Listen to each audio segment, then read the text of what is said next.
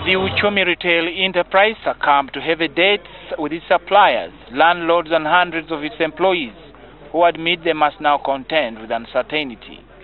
No termination letters, no benefit given, no salary for September and October. We are just in Imale stuck. The government of Uganda. serving these people food. I'm um, demanding a lot of money, to the tune of more than 34 million. The line of frustration on how the employees of Uchumi will cope in light of their pending two-month salaries and job termination is also raising concern. The other aspect relates to the role of trade unions and um, and the government labor department. I have not heard something substantive coming out.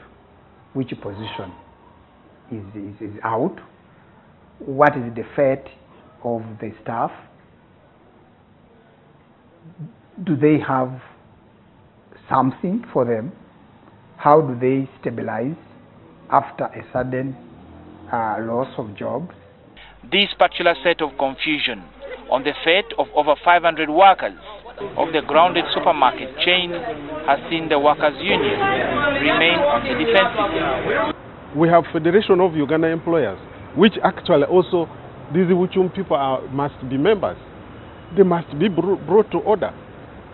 The labor laws are very clear about termination of workers. Now, what the way forward is that we need to come together. Since they are not in our union, but we are now volunteering to help.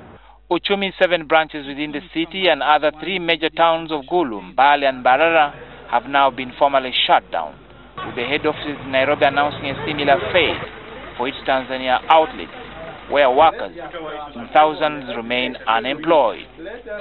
Reina Oja, NTV, Business.